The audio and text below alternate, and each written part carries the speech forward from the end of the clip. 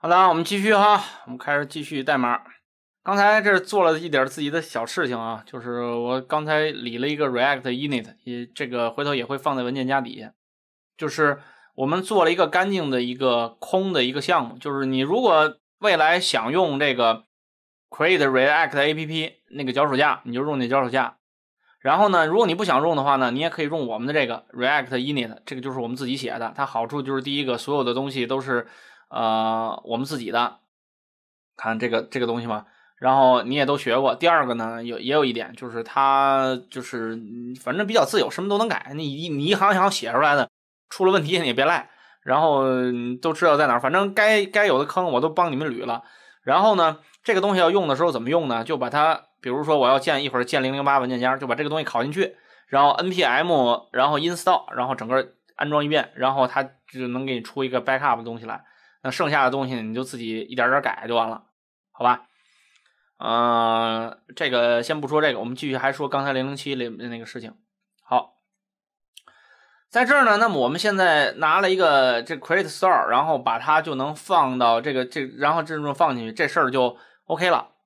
啊，那么 OK 以后呢，底下呢我们要写其他部分的，因为现在我们呃，这是正经来说，是我们现在已经把 index 部分已经写完了。啊，写完 index 部分以后呢，那么这个时候我们要去要去写谁呢？写完 index 部分以后，事实上来讲，我们要去写 app。我们我们的目标是一个 app，对吧？app.js 这个这个拿掉吧，这个这个弄空了，这个一会儿有有另作他用。然后呢，这是一个 app 里边我们要放两个 child，然后这两个 child 呢互相之间改对方的这个这个东西。改这个 state，我们看一下这东西怎么写。呃，首先第一个呢，上边啊这些无所谓，我们在这儿先建一个 components，一个文件夹。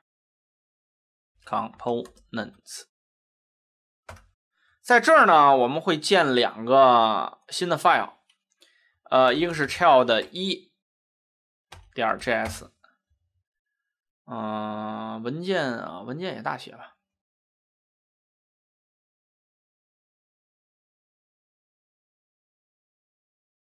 第二个呢是 child 二点 js，好，child 一点 js 和 child 二点 js，那么我们先来写这两个，先先先先来盘这两个东西吧。那么这个里边首先要怎么写？因为你是 React 组件嘛，这这这没什么好说的，先写这个对吧？From React，啊，想起哪些写哪些哈。然后底下是底下底下要干嘛？底下是。Class 对吧？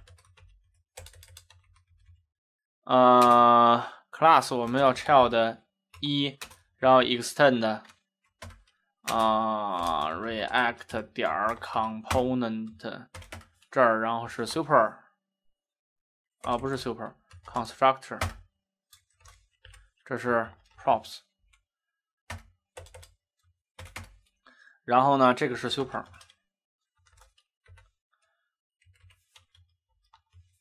对吧？这个没问题哈。然后底下呢有一个大的函数 render，第一二，然后 return 一个什么东西回去，对吧？我们这先把这个东西都写好。然后底下这儿要注意啊，这个这个里边没有东西，好吧？嗯，我们先满足它的需求，杠 div，让它别报错，好吧？然后呢？那么在这儿呢，底下我们先说这个地方不能写 export，呃呃 default f a u l t a u l t 不能写 default child 一啊。有人问为什么啊？你你就记住就好了，这不能这么写。这个地方要写成什么呢？要写成另外一个函数的样子。这个函数首先我们这儿还要 import 一下，叫 import 一个东西，它叫 connect。connect，然后 from 这个东西，react redux 这个东西是干嘛的呢？它其实来讲是把每一个，因为因为现在是这样，我们刚才记得我们在这儿写的时候，零四的时候我们在这儿写了一个 subscribe，对吧？这个东西，但是事实上来讲，如果直接让你用 subscribe 这个东西，依然会很乱。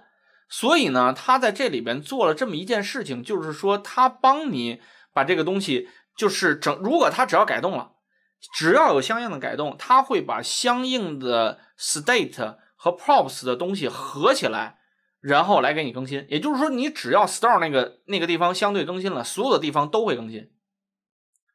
那么这个这个其实是整个。那个就是你用了 React Redux 以后的一个好处，你不需要去 Subscribe，你直接用 Connect，你用 Connect 改造一下你的这个 Child，也就是它会把整个所有的这个关于这个 Store 所有的信息的沟通全部及时的通知给你。那么唯一的缺点就是这个地方你要改写一下。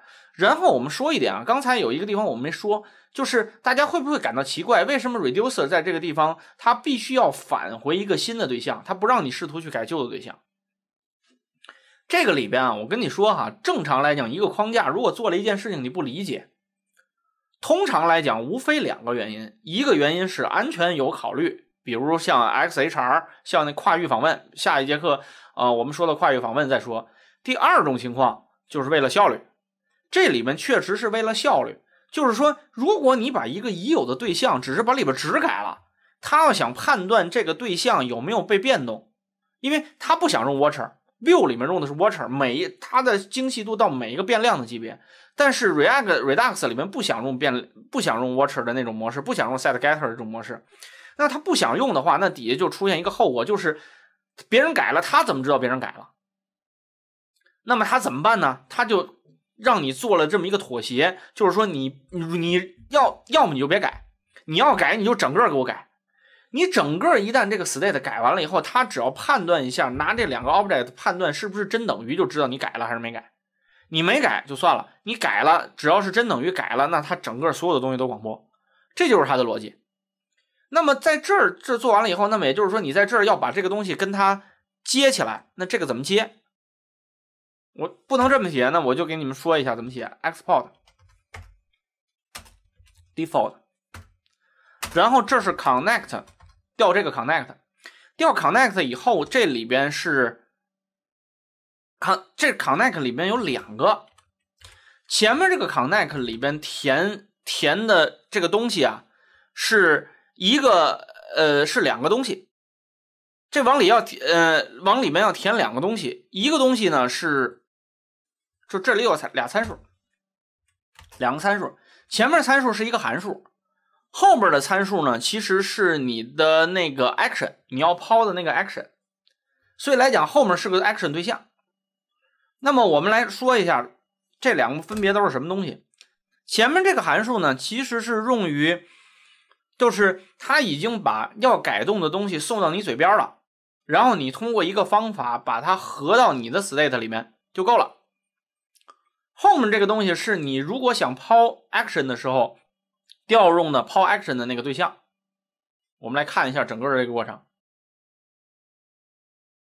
那么对于 child 呃 child 来讲的话，那么我们的这个 child 一，我们来讲是这样：首先第一个函数啊，我们用箭头函数的方式去写。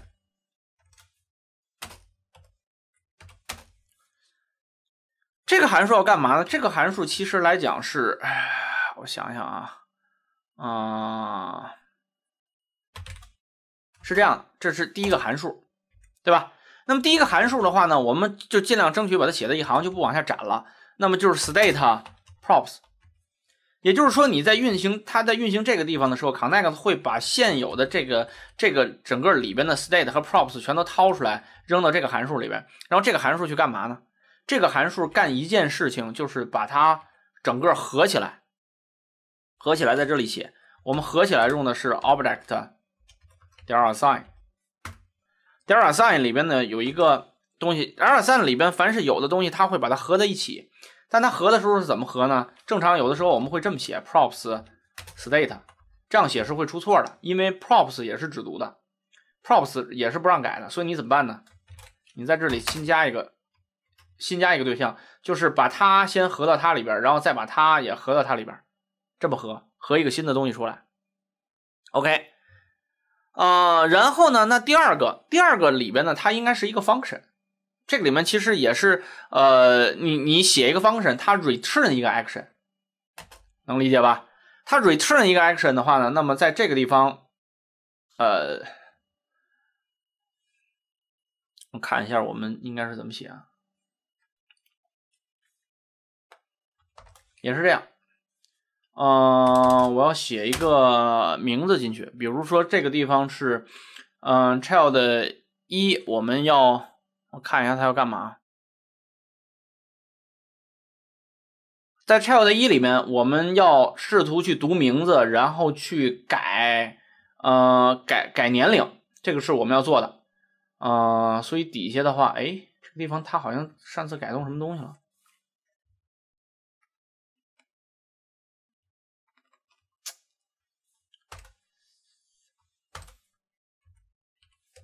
等会儿，嗯，这个地方在这儿，这个是它的大括号，它的大括号以后出了逗号，出了逗号以后，这应该有一个大括号。啊，这跟 connect，的然后在这儿要补那个函数，这个函数呢，我们起一个名字叫做 add age，然后这个是函数题，啊，函数题里边呢，这个东西进来，我们在里边呢就不给它设，呃，它需要设定一个参数，需要一个参数 value，然后呢，函数题里边呢，基本就是 return，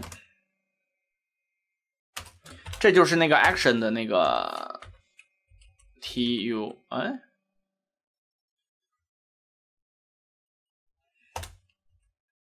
哎，对啊，怎么会？嗯，这应该是 type，它为什么一直在报错呢？要把这个地方拿过来，我们要看一下这个地方怎么写的。这个地方是 add age 嘛？那么我们要调这个 add age。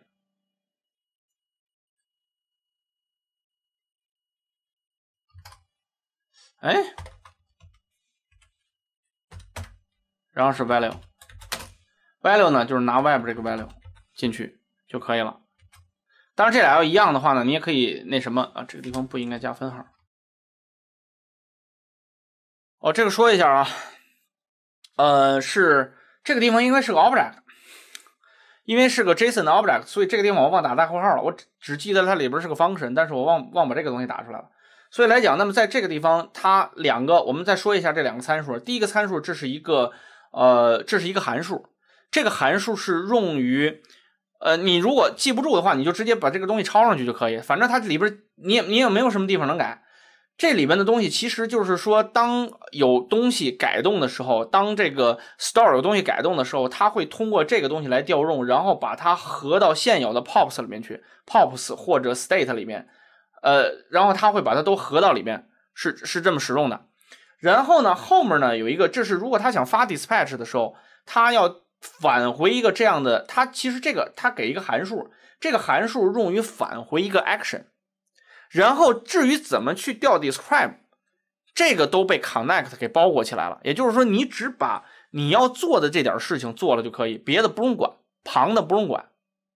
所以这个其实是它整个这个这个代码的一个结构。